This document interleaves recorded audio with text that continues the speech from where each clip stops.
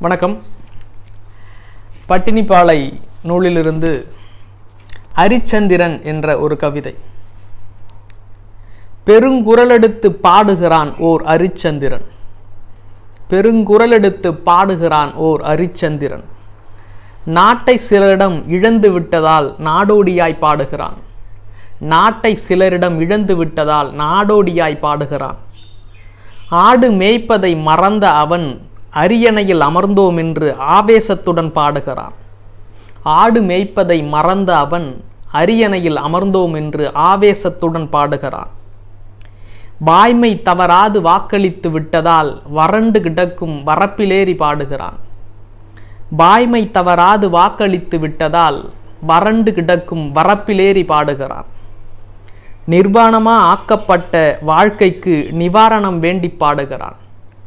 நிர்வாணமா ஆக்கப்பட்ட வாழ்க்கைக்கு நிவாரணம் வேண்டி பாடுகிறான். இவனுக்கும் கால் பணமும் முழ துண்டும் தான் நிர்வாணத்தை மறக்க கொடுக்கப்படுகின்றன. இவனுக்கும் கால் பணமும் முழ துண்டும் தான் நிர்வாணத்தை மறைக்க கொடுக்கப்படுகின்றன. அவனின் இழுநிலை கண்டு விஸ்வாமுத்தரரும் விரையவில்லை விஷ்ணு மரமும் கரையவில்லை.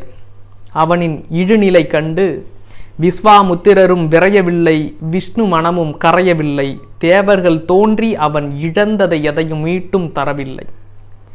பட்டாபிஷேகம் முடிந்தவுடன் அரிதாரம் அழிக்கும் நாடக ராஜாவைப் போல பட்டாபிஷேகம் முடிந்தவுடன் அரிதாரம் அழிக்கும் நாடக ராஜாவைப் போல ஆடு வீட்டுக்கு கிளம்பும் போது முடிந்து விடுகிறது அவனின் அரிச்சந்திர புராணம். நன்றி.